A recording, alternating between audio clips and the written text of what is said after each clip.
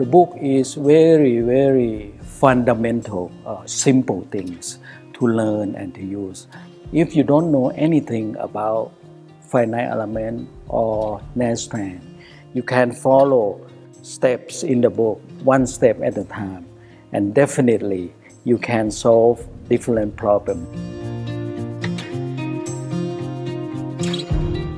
Oh, long time back, uh, 40, 40 years ago, as a, an engineer at NASA Langley Research Center in Hampton, Hampton, Virginia. Uh, I used uh, MSC Nastran in the old day. Yes, definitely. Yes, yes, definitely. As compared to 20 years ago. This day, when you talk to people, engineers, and you say the word Nastran, you say the word uh, finite element, they do understand. A lot of people uh, want to understand the basic uh, theories and computational techniques uh, that are built in in the software engineers realize that they need to develop or need to understand, need to design new more things. And software, CAE software, computer aided engineering software can help them a lot. As engineer today, uh, we cannot use experience uh, as the old fashioned engineer used to use. I mean, we cannot do that anymore. We need to have good background on mathematics and computations so that we can uh, understand the theory and follow the, the, uh, the way to use software and then we can get solution in a very short time to improve the productivity, to improve the design.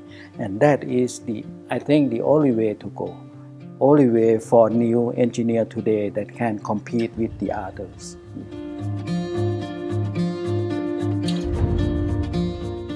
The book contains uh, four sections in each chapter, uh, starting from the governing differential equation for that problem, uh, then the finite element formulation, and then academic example, and at the end is the applications. There are 12 chapters in the book in different uh, element for different element types. So with this book, I think going through details of the theory behind the software, understand how to use the software should be okay. Once they have uh, experience with, with the software, say are in automotive industry, uh, aircraft industry, and some other industry. Uh, these three industries uh, are related to improve the design, reduce the stress in the structure. Nastran is a nice finite element software because it was written uh, from the basic. That is, it includes many things that as compared to other software. Some other software don't, don't have it. Teaching the subject, finite element subject in class, I do explain to students the simple element types.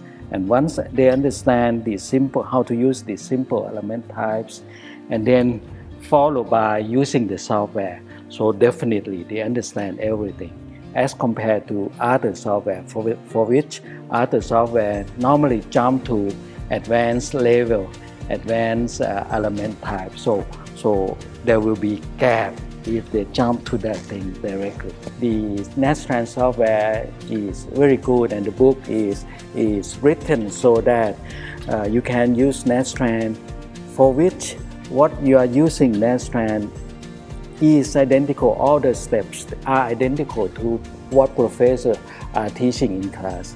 So they correspond to each other. Once students understand how to use Nastran, they can match, they can understand the theory that the professor just mentioned in the class. So students get both things together, understand the theory, and can play or can use with the software directly.